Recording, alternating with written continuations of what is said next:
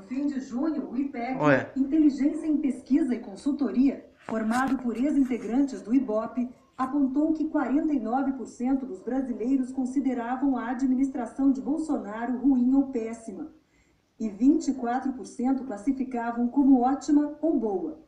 Em outra pesquisa do Datafolha, feita no início de julho, 51% achavam o governo Bolsonaro ruim ou péssimo, 24% ótimo ou bom.